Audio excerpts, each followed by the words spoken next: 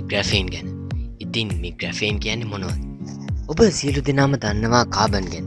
Carbon නිදහස් පරමාණු හතරක් සහිත බන්ධන හතරක් සෑදීමට පුළුවන් මූලද්‍රව්‍ය මේ කාබන් මුලද්‍රව්‍ය තියෙනවා මිනිරන් හා දියමන්ති වගේ බහුරූපියාකාර ඔය බෞරූපියාකාරයක් වෙන මිනිරන් හැදිලා තියෙන්නේ කාබන් කාබන් අතර බන්ධන සඩස්්‍රාකාරයෙන් එකට සම්බන්ධ වුණු කාබන් ස්තර කීපයක් එකට එකතු වෙලා.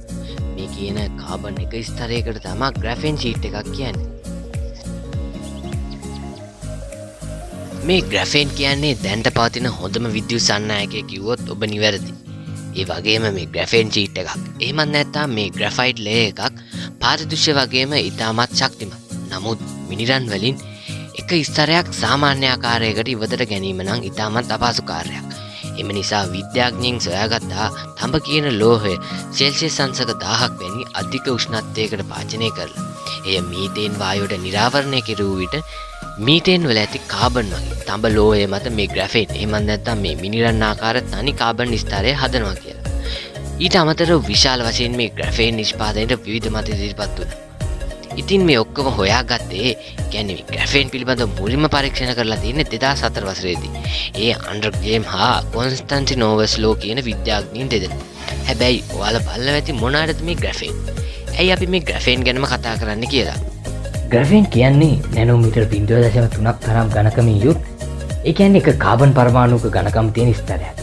පිවාල්ට කලිනුත් කිවවාගේම මේ ග්‍රෆෙන් තමා ලෝකෙ තියෙන හොඳම විද්‍යු සන්නයකම්ට්‍රව ඉතින් අපිට පුළුවන් මේ ග්‍රෆෙන් චීට්ක මත යම්කිසි පරිපතයක් නිර්මාණය කරලා ඒකට විදුලිය ලබාද ඒ විදියට අපිට පාරිදුෂ හා නම්මශීලී විද්‍යුත් උපකරන නිර්මාණය කරන්න පුළුවන්.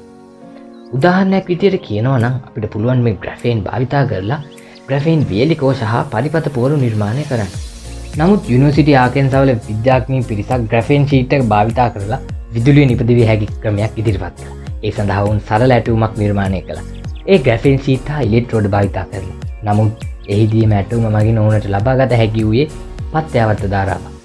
නමුත් තිකටම සිදු කළ පරීක්ෂණ මගින් ඔවුන්ට ඩයිඩ දෙකක්සා ධාරිත්‍රක භාවිතයෙන් අර පත්්‍යවර්ත ධාරාව රිජු ධාරාවක් බවට පත් කරගන්න පුළුවන්නුව.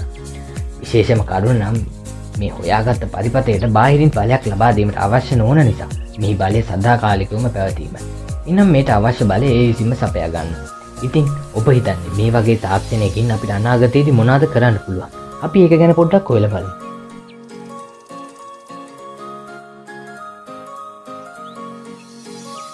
අපිවලට කල්ලුත් කිව්වාගේ මේ ග්‍රැෆෙන් අනාගතයට අපේ ජීවිතවලට බලපා නාකාරය අපි මේ පුංචි වීඩියෝ පටෙන් අරබමු බලන් රෝහලකට රැගෙනෙන අසාධ්‍ය රෝගයෙක් ඔහු පරීක්ෂා කරන වෛද්‍යවරු නිර්දේශ කරන්නේ ඔහුගේ හර්දය ඇති රෝගයක් නිසා. ඔහු පලඳින පේස්නයක උපකරණය නැවත ආරෝපණය කළ යුතු බවයි. මොකක්ද මේ පේස්නයක උපකරණය කියයි පේස්නයක උපකරණය කියන් යම් කිසි පුද්ගලයකුගේ හර්දය සිදුවන සුදිර ගමනා ගමනේ එමත් නැත්නම් හර්ද ස්පන්ධනය පාලනය කරන කුඩා උපකරණය ඒ සුදුසු තත්ත්වයන් සඳහා වෛද්‍යවරයාගේ නිර්දේශය අනුව නැවත ආරෝපණය කළ යුතුයි. නමුත් ඒ වෛද්‍යවරයා විසින් එම රෝගයාට නව තාක්ෂණය අනුව ග්‍රෆේන් යොදා ගනිමින් සිදු කළ පේස්නයක උපකරණයක් ලබාදෙන ඉතින් මේ වගේ ග්‍රෆේන් යොදා සිදු කළ තවත් දෙවල් ගොඩක් තිය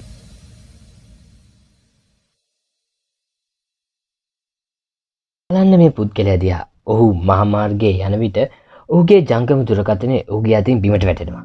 ඔප සිතන්නේ ඕගේ දුරකතනයට කුමක් සිදුවන්න ඇත්ත නමුත් ඊට පෙර ඔහුගේ මතකයට එනවා ඇත් අතීතේ මේ වගේ දවසක ඔහු ඇවිදන් ඇති ඔහුගේ පැරණි දුරකතනය අතින් ගිලිහි බිඳියනවා ඔහු ඒ මෝතේ බොහෝ කනගාටුවට පත්වෙනවා නමුත් වර්තමානය ඔහු භාවිතා කළ ජංගම දුරකතනය නිපතවා තිබෙන්නේ ප්‍රෆෙන්ඩ දාගනිමින් ඒ නිසා දුරකතනයට කිසිදු හානියක් සිදුවන්නේ නැහැ. ඉතින් මේ වගේ ශක්තිමත්තා නම්ම ශිලි දුරකතනය අනාගතයේදී ඔබේ අතටත් ලැබුණොත් ඒ ඔබට කිව නොහැකි වාසිදායක තත්ත්වයක් වඩවා නො අනුමානයි.